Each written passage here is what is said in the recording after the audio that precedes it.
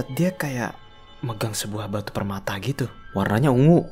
Batu legendaris memang ada yang warnanya ungu. Kode merah, Vel. Lo harus balik sekarang.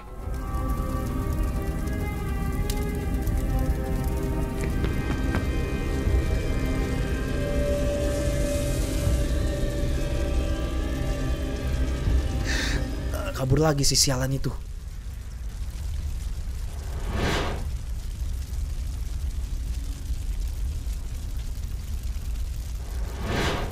Tangan besi. Apa jangan-jangan itu yang digunakan untuk mengambil sihir? Clover, Ace, King? Jadi, apa tujuanmu ke sini?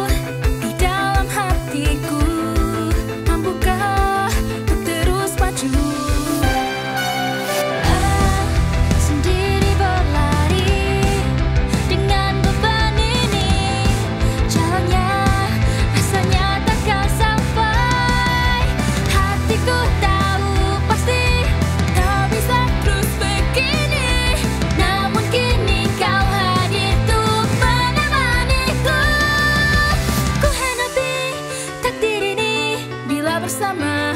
Ku yakin bisa Terus berlari dengan kuatkan hati Karena di depan pasti akan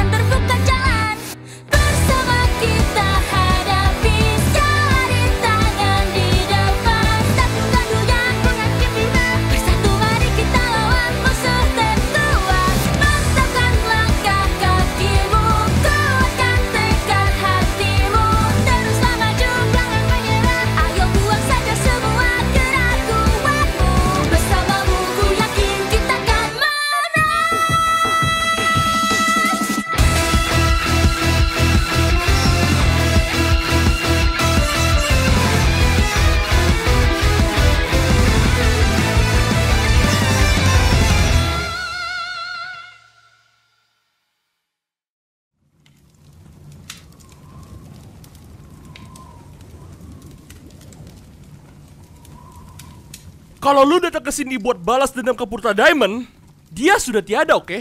Dan jangan dibakar Diko ke dalam semua ini. balas dendam. Ayolah, balas dendam untuk apa? Karena Diamond udah lantarin kita semua. Dia lakuin itu untuk kebaikan kalian semua. Udahlah, lupain hal yang sudah lalu. Hal yang sudah lalu. Hmm. Oh, kayak pas lu kabur dan ninggalin Spade dan Heart. Wow, wow, wow, wow, wow, wow, wow, wow. Tadi lu bilang lupain hal yang udah lalu. Lu- Kok lu sendiri malah marah, wey? Mending sekarang kasih tahu alasan lu ke sini sebelum gue patahin leher lu. Oke, oke, oke, oke, oke. Gu- Gue gue ke sini buat bantuin warga Vermilion. Oke? Damai, dam- damai. Gak usah bohong. Gue tanya sekali lagi. Apa alasan lu ke sini? Aduh, ini susah bener sih Awi kok lila ini dikasih tahu. Ini kalau lu pikir gue masih nyimpan dendam sama Diamond, lu salah besar ya. Lu harus tahu, gimana pun juga Vermilion itu rumah gua ya. Gue di sini cuma mau ba- bantu. Swear, swear. Sabar, Gen. Dia nggak bohong. Gue lihat sendiri dia nyoba untuk melawan si pria berjubah hitam itu tadi. Oke, oke. Dengerin gua. Kalian pasti mau tahu kan yang kerok di balik semua ini kan? Gue bisa kasih tahu kalian. Oke, oke. Awas aja kalau lu nipu kita semua. Masih temperamental juga ya lo, Clover. Terus ada tujuan apa lu ke sini? Gue butuh bantuan. Bantuan? Memangnya lu butuh bantuan apa? Di desa tempat gue tinggal, banyak orang yang kehilangan sihirnya. Jadi maksudmu di tempat lain juga banyak kejadian kayak gini? Ya, entahlah. Tapi kejadian ini udah di mana-mana. Gue coba balik ke Vermilion untuk cari bantuan, tapi ternyata Vermilion juga diserang. Dan di situlah gue lihat orang aneh berjubah hitam itu. Gue coba sebisa mungkin untuk lawan dia, tapi si bedebah itu terlalu kuat. Kalau waktu itu Marvel nggak datang bantu gue, mungkin sihir gue udah diambil. Lu tahu identitas dari si jubah hitam itu? Gue ngeliat mukanya, dia pakai topeng. Tapi kalau tebakan gue, pelakunya sama dengan yang ada di desa gue. Topeng yang lu lihat kayak begini bukan? Nah, iya, itu topeng yang gue lihat. Eh, bentar. Tapi lu bisa dapat itu dari mana? Gue dapet ini pas orang itu nyerang Ovia. Gue hampir nangkep dia, tapi dia berhasil kabur. Intinya, si Biang Kerok itu adalah penyebab kematiannya Mulia Ratu. Ah, dan lagi-lagi dia berhasil kabur. Maaf Rafael. Kami sudah berusaha untuk mencari ke setiap sudut kota, tapi Gak usah khawatir. Gue tahu dia di mana. Aku dapat sinyal darurat dari Elheims. Hart sudah ada di sana. Mereka butuh bala bantuan. Diamond, Spade, Clover, kalian cepatlah ke sana. Bentar, bentar, bentar. Hah? Elhems? Kok si Biang Kerok itu bisa ada di Elhems? Teleportasi atau semacamnya pasti. Entahlah. Ayo, kita harus cepat.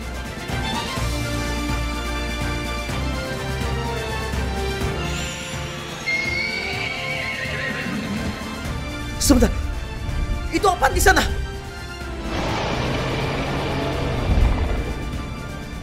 Oh, itu Heart.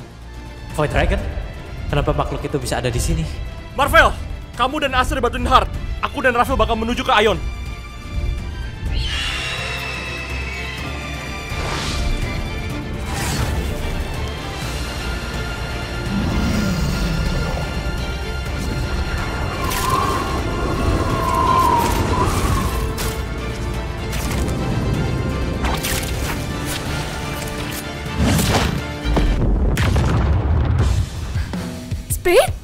Lawan ginian aja kesusahan.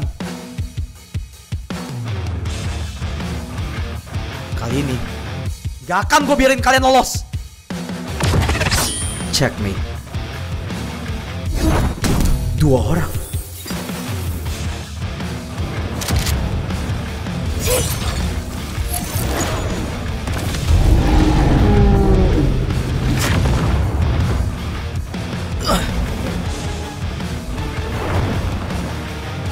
Mereka bertiga ya.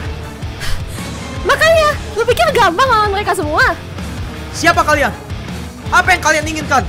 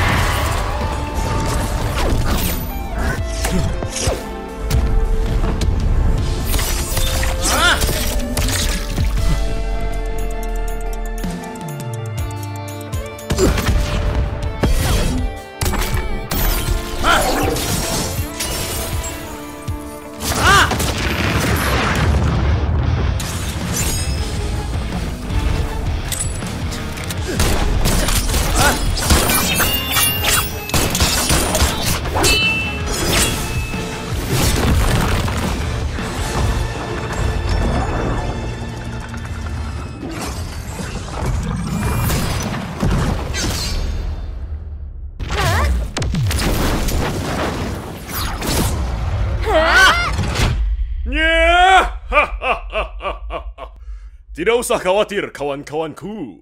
Semuanya akan baik-baik saja. Kenapa? Karena aku telah Kalian ngapa, cok? Kok malah gue yang digebuk, hei? Harusnya kita yang nanya. Lu ngapain muncul di depan? Loh, kok lu bisa di sini? Lu kenal dia? Ceritanya panjang. Tapi gue sumpah nggak tahu gimana dia bisa di sini. Ya lagian kalian jahat, ninggalin gue gitu aja di Vermilion. Kan gue juga mau bantu. Ya, jadi ya gue nangkring di kaki Griffin lu.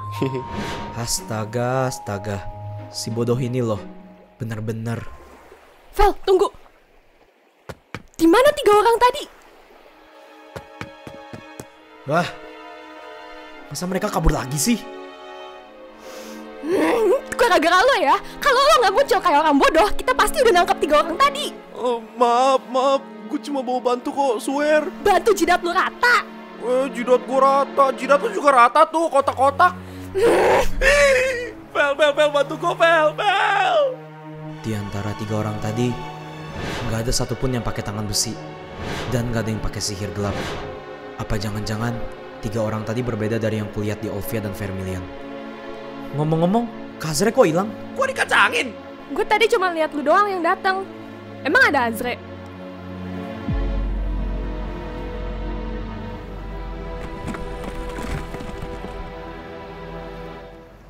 Makhluk ini kan cuma ada di Void. Gak mungkin dia bisa datang ke sini. Apa jangan-jangan? Ngapain kak? Hah? Eh, lu gak apa-apa? Nggak apa-apa kok. Lagian kakak kenapa sih nggak bantuin tadi? Eh, oh, em, tadi kakak kira naganya masih hidup. Ini naga macam apaan sih? Gue belum pernah lihat loh jenis yang kayak gini. Gak tau juga ya. Ngomong-ngomong nih, coba lo kelepas tadi.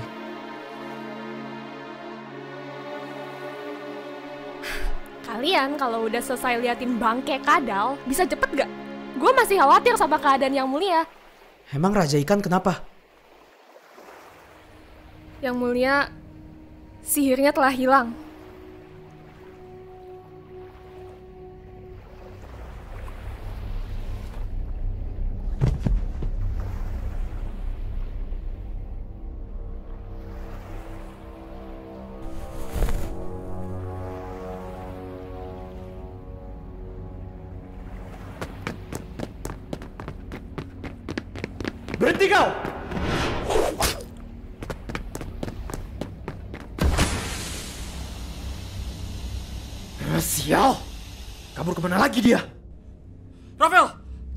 Cepet cek keadaan si Ayun.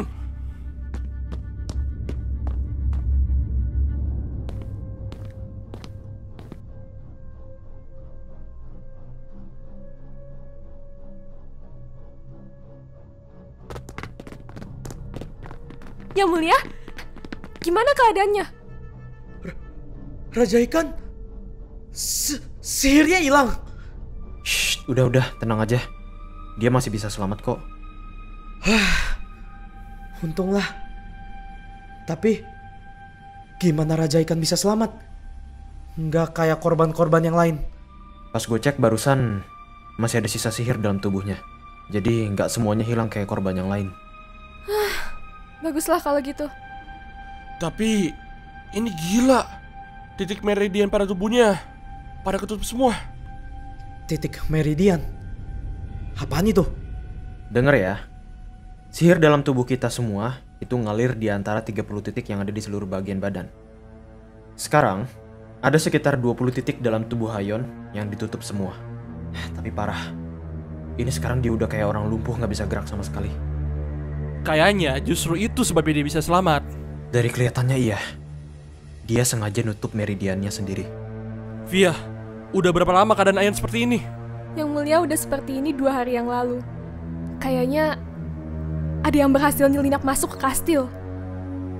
Gue nggak tahu apa yang terjadi, tapi pas gue temuin yang mulia, kondisinya udah kayak gini. Hmm, kemungkinan besar Ayun sengaja nutupin meridiannya sendiri supaya sihir di dalam tubuhnya nggak bisa ditarik keluar. Pintar juga, tapi nekat banget. Tuh, tuh, tunggu, tunggu. Jadi maksudmu yang nyuri sihir dia bukan tiga orang yang kita lawan tadi? Gini loh, Vel. Ada orang keempat. Kami ketemu salah satu di sini. Kemungkinan mereka datang untuk mengambil sisa dari sihir Ayon. Terus kenapa lu nggak buru-buru lapor ke kita? Tadinya gue mau sekalian laporin ini ke Raja GM. Pas kemarin dia manggil kita semua ke Olvia. Tapi pas gue mau ke sana, tiba-tiba tiga orang sialan itu nyerang. Udah, udah. Sekarang Rafael lagi coba untuk buka titik sihir dia pelan-pelan. Seharusnya sih dia pasti aman. Gimana Rafael? Eh, sejauh ini gue udah berhasil bukain 10 titik. Untuk sekarang dia aman. Jadi pasti dia bakal selamat kan?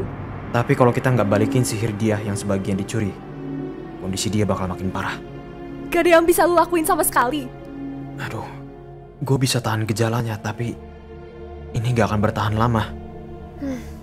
Gimana caranya kita bisa cari serpian sihirnya? Oh iya, ngomong-ngomong, gue udah mau ini. Tadi sih dijatuhin sama si orang bertopeng itu. Apaan tuh? Batu permata kok abu-abu? Itu kan Tunggu, lu tahu ini benda apa Azre? i- itu bukan apa-apa. Lupakan saja. Kalau lu tahu sesuatu, bilang sekarang. Jangan disimpan-simpan. Kazre, kamu harus kasih tahu ke kita sekarang. Lihat sekarang, kita nggak punya petunjuk sama sekali. Kalau kamu betul-betul tahu sesuatu, apa pun itu, mending kasih tahu sekarang.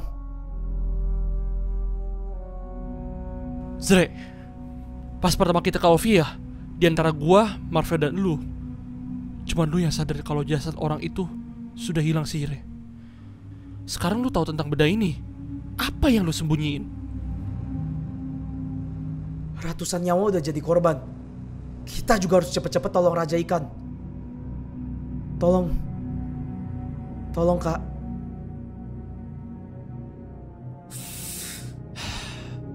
Kayaknya gua tahu penyebab dari semua ini. Hah? Siapa? Batu ini Ya, tapi wajar kalau kalian nggak tahu ini apa. Ini batu quartz, sebuah katalis sihir. Memang dia nggak berwarna sama sekali. Tapi kalau gua alirin sihir gua ke dalamnya, dia bakal berubah warna kayak gini. Itu kok jadi mirip batu sapphire? Sifat dan tipe sihir kalian bakal mempengaruhi warnanya. Kalian bisa menaruh sihir kalian sendiri di dalam batu ini. Atau cara yang paling jahat, kalian bisa paksa menarik sihir orang lain ke dalamnya. Dan kemungkinan besar, batu inilah yang kau lihat di Elvia, Rafael. Jadi, batu ungu yang kulihat itu sebetulnya batu abu-abu yang digunakan untuk mencuri sihir. Sebenarnya ini batu apaan sih? Batu legendaris. Bukan, tapi kalau kalian belum sadar, semua batu legendaris asal mulanya dari batu ini. Jadi, maksudnya batu legendaris itu sebetulnya sihir orang lain yang dimasukin ke dalam batu itu. Iya, tapi sihir yang di dalamnya bukan punya penyihir biasa. Sihir di dalamnya milik makhluk celestial, yaitu para dewa. De- dewa, dewa? Maksudnya kayak dewa yang ada di cerita mitologi itu. Ya, kurang lebih begitulah. Jadi, yang namanya dewa tuh ada ya? Adalah. Beberapa dari mereka gue kenal dan beberapa juga gue ada kontrak sama mereka. Hah? Belial tuh dewa? Eh, bukan. Belial itu iblis. Dia raja spirit. Semacam celestial tapi bukan dewa. Terus kesimpulan gua begini. Kalau orang bertopeng itu ngumpulin sihir secara massal, cuma ada satu tujuannya. Untuk bikin dan ngebangkitin batu filosofer. Filoso... Apaan? Batu filosofer. Batu yang bisa memulihkan, memberikan energi, dan yang paling parah, dia bisa memberikan keabadian. Terus, tadi lu bilang lu tahu pelakunya. Siapa? Asalnya batu quartz dan sihir filosofer ini, yaitu peradaban pertama dan tertua di dunia ini. Induk dari terciptanya sihir Babilonia. Babilonia? Nggak pernah denger gua. Bukannya sihir itu awalnya dari The Reborn? Bukan. Miliaran tahun yang lalu, ada terdapat peradaban jaya, di mana para celestial dan astral tinggal. Babilonia, peradaban tertua di dunia. Kerajaan mereka dikuasai oleh seorang raja bernama Anu. Dewa langit, bapak dari para dewa. Anum adalah raja tiran yang jahat. Kerajaan di bawah pemerintahannya memang merupakan peradaban yang sangat unggul. Namun, sifatnya yang kejam menumbuhkan kebencian di antara rakyat Babilonia. Di balik keunggulan Babilonia, banyak anak dan rakyat kecil terlantar dan dikorbankan. Diperbudak demi kejayaan. Lalu berdirilah seorang dewa yang berani memberontak melawan kebengisan Anu, yaitu seorang dewa bernama Enki. Dengan tekad dan semangatnya, dia berhasil menyatukan enam dewa lain untuk berdiri di sisinya dan membantunya dalam perang melawan Anu. Pada akhirnya, mereka berhasil menjatuhkan Anu. Keenam dewa, Ashur, Shamash, Enlil, Nergal, Damgalnun, dan Marduk mengorbankan dirinya dan memasukkan sihir mereka ke dalam enam batu quartz. Dan keenam batu itulah yang sekarang kalian sebut sebagai batu legendaris. Dengan keenam batu ini, mereka berhasil mengunci Babilonia di dalam Void agar dunia luar terhindar dari pengaruh Anum. Enki memastikan tidak ada siapa pun yang bisa menemukan segel dari Babilonia. Empat batu pergi untuk bersembunyi di tempat yang bahkan tidak diketahui oleh Enki. Lalu, kedua sisanya ia sembunyikan sendiri.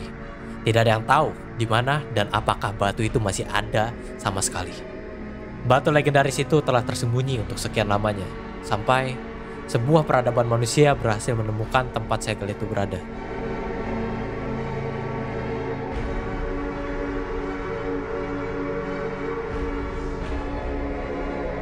Steve, Betul, Eh, tapi kata lu tadi ada enam dewa yang masukin sihirnya ke dalam batu kan? Tapi batu legendaris yang kita tahu kan cuma ada empat. seharusnya ada enam. Pertanyaannya sekarang, kenapa lu bisa tahu semua ini? Gua... Sorry, tapi gua nggak bisa kasih tahu itu untuk sekarang. yaudah yaudah itu nggak penting buat sekarang. Sekarang gini deh, caranya kita selesain masalah ini gimana? Kita harus cari tempat segel ya. Siapa pun orang-orang jubah hitam itu, kemungkinan besar mereka dari sana. Dan naga hitam yang lu lawan tadi, Vel, mereka juga dari dalam Void. Tempat Babilonia disegel. Jadi kemungkinan besar, biang kerok semua ini asalnya dari dalam void sana. Betul. Kalau gitu kita bisa cari serpian sihir yang mulia. Oke, sekarang gimana caranya kita temuin tempat itu? Siapa yang tahu lokasinya? Kan udah ada satu orang yang tahu di mana lokasi segel itu. Hah? Siapa? Ah, Lola kalian semua. Yang dimaksud Azri itu tahanan Vermilion. Hah? Maksudnya kita naik ke Steve? G- gak ada cara lain apa? Ya kalau misalkan ada yang punya cara lain, ayo boleh coba ngomong. Jujur aja, gua nggak suka cara ini. Tapi kalau udah mentok, mau gimana lagi? Azra bener. Ratusan orang udah jadi korban. Dan ke depannya bisa jadi ribuan. Kita gak ada waktu untuk cari cara lain. Tapi gue ingetin aja ya, ini nggak akan gampang. Dengan kondisi Vermilion sekarang, ya intinya siap-siap aja sama amukan dari Raja Liko.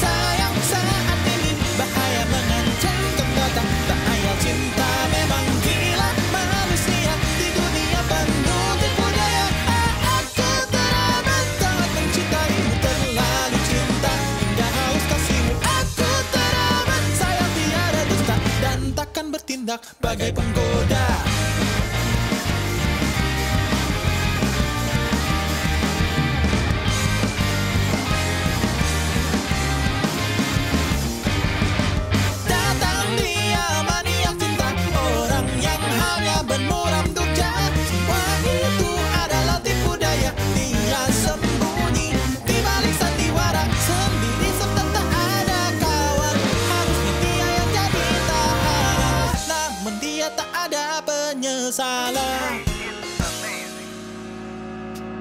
Dengarkan kasih ini sayang saat ini. Bahaya mengancam kan datang tak ayal cinta. Memang gila manusia. Di dunia penuh tipu daya Ah, Aku teramat sangat mencintaimu Terlalu cinta. Hingga haus kasihmu. Aku teramat. Sayang tiada dusta. Dan takkan jadi seorang